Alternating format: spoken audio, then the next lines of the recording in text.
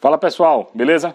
A gente está aqui hoje no CTGM, Clube de Tiro Geraldo Mota, e eu vou pra, mostrar para vocês na prática como é que ficou o 7022, customizado pela Rex Custom.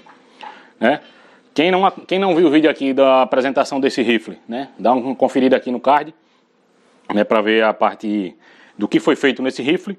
E agora a gente vai mostrar na prática, né, em que essas modificações se traduziram no desempenho da arma. A gente vai atirar hoje a 25 metros, tanto com a luneta quanto com mira aberta. E eu quero mostrar para vocês é justamente o que a gente comentou no outro vídeo, questão da versatilidade dessa arma, né? Que a ideia dela, quando eu me propus a customizar, que ela fosse uma arma é, versátil, que eu posso utilizar tanto nas competições de mira aberta, como também quando eu quiser dar um tiro com luneta, um tiro com mais precisão, possa modificar ela sem muita dificuldade. Tranquilo? Então acompanha que já já a gente vai mostrar como é que ficou essa, o resultado dessa customização. Bom pessoal, a gente vai agora para os tiros na prática, beleza? O alvo a 25 metros, né? Observem lá a distância. É o alvo padrão né? para competição de carabina.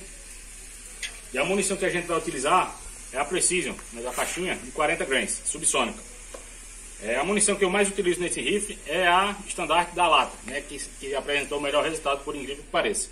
Mas como a minha acabou, a gente vai utilizar essa Precision, que ela Pode ser que ela dê uma, uma, pequena diferença na altura do ponto de impacto, né, por ser uma munição mais lenta, mas eu creio que o comportamento geral vai ser basicamente o mesmo da outra munição. Vamos ver como é que ficou o resultado? Bom pessoal, vamos aqui para os tiros, beleza? Carregadorzinho que está com 10 munições. É, vou atirar um pouco mais rápido do que atiraria na competição, para a questão do vídeo, mas só para a gente ter uma noção de como é que está a precisão dessa arma, beleza? Vamos lá? Está quente.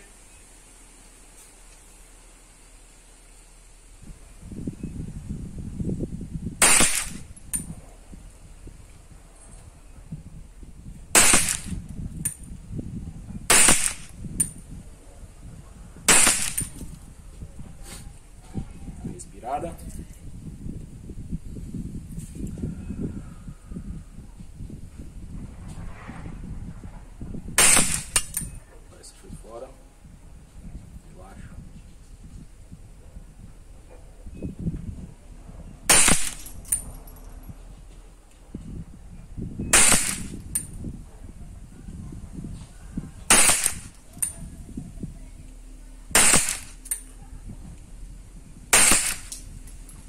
Bom, finalizado.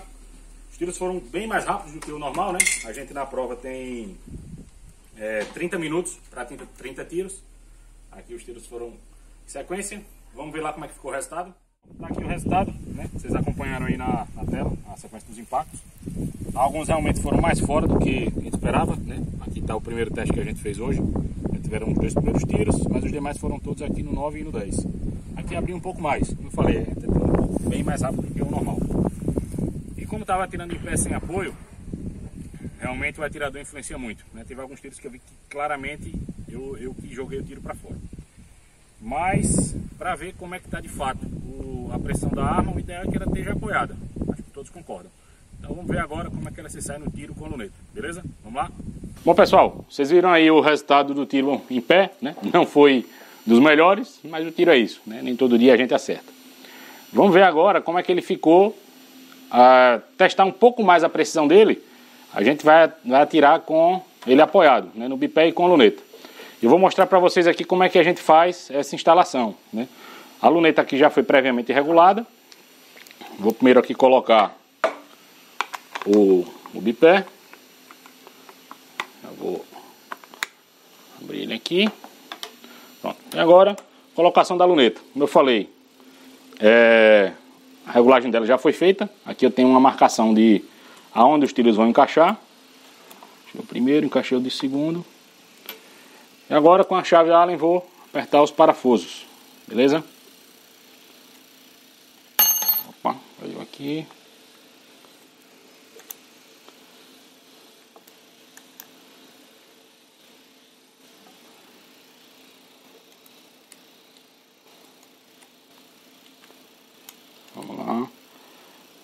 Veio a questão aqui do aperto dos parafusos, né? Importante é que eles não fiquem folgados, mas também, mais importante ainda, é que você não force demais e termine luindo as porcas. Pronto, a luneta está instalada, né? Bipé colocado, luneta instalada. Vamos ver agora como é que vai ficar o resultado dela no tiro lá na, a 25 metros. Vamos lá? Bom pessoal, agora a gente vai para o tiro com luneta, né? luneta devidamente instalada, munição exatamente a mesma né, do, do último teste. Vamos ver como é que se, ele se sai aqui nesse teste com a luneta, tranquilo? Atenção, pista quente.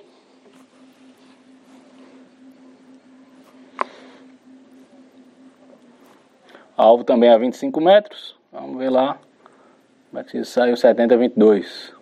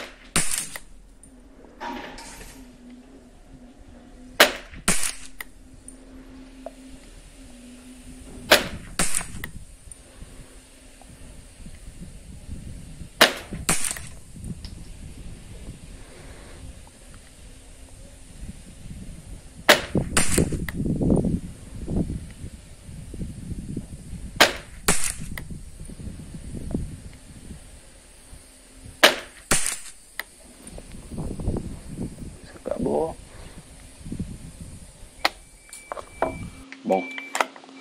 Encerrados os 10 disparos, vamos ver lá o resultado na, no alvo, como é que ficou.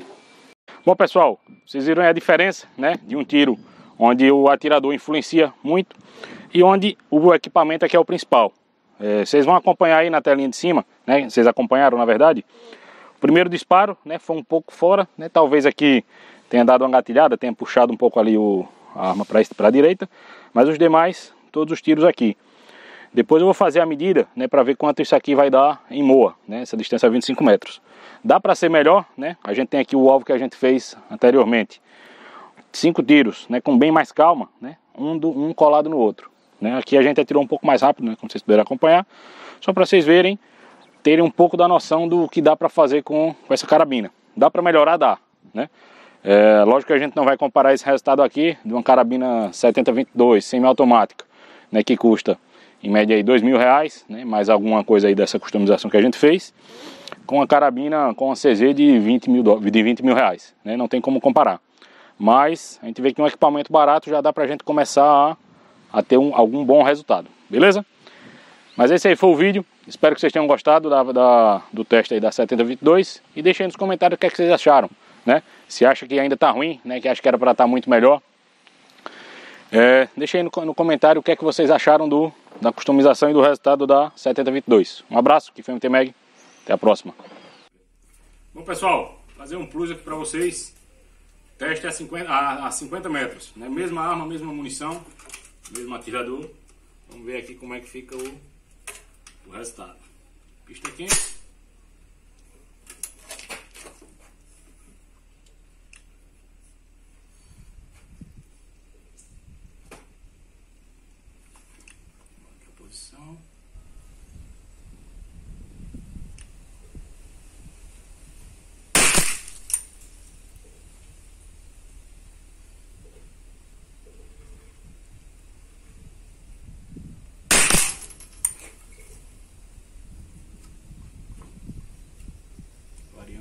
lá.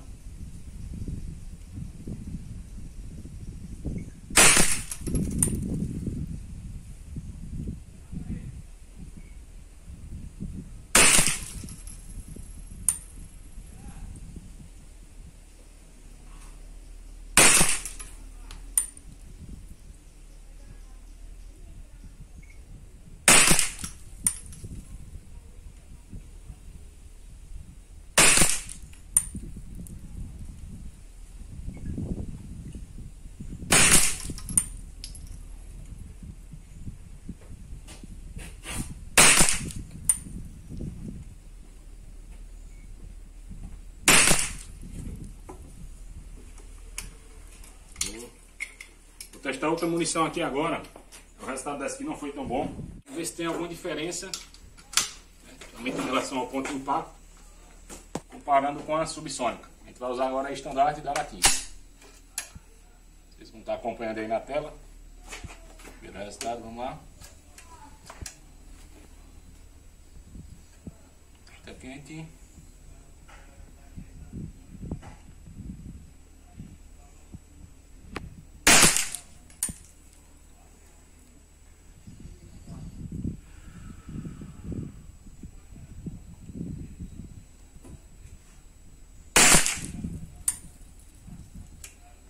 A diferença.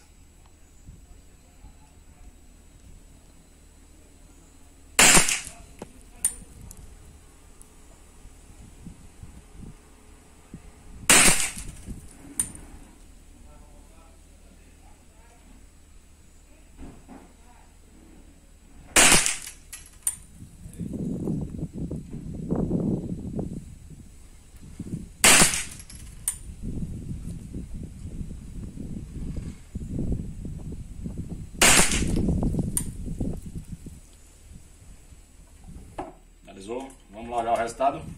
Pessoal, agora aqui o resultado a 50 metros, né? A gente utilizou duas munições distintas. Utilizou a subsônica Precision, né? Que em tese deveria ser mais precisa do que a estandarte original. Mas a gente vê na prática, aqui o alvo, a gente não destacou os tiros de cada uma, mas no vídeo vocês viram que a, a Precision foram as primeiras disparadas, a maioria pegou embaixo, né? Inclusive teve tiro que foi bem fora, né? Aqui eu, eu realmente não vi que foi erro meu. Né? Pode ser que tenha sido a munição. Mas os disparos com a, com a da latinha foram esses aqui acima, né? Principalmente, né? pelo menos pelo que deu para ver lá pela luneta. Enquanto a, a Precision agrupou embaixo. Para mim, ainda é um bom agrupamento, né? Principalmente pela velocidade que atirei. Não foi aquele tiro com calma, aquele tiro bem estabilizado que a gente quer com pelo meio. Mas já deu para ver que tem potencial. Né? Eu achei que quando a gente fizer uma modificação no gatilho, né? até mesmo pegar uma munição melhor, isso aqui vai melhorar muito, beleza? Deixa aí nos comentários qual teste você quer ver com essa carabina 22, né? Que tipo de munição, né? Lógico, se a gente encontrar por aqui. E o que é que, qual, é a sua, qual a sua sugestão em relação a ela, beleza? Um abraço, até mais.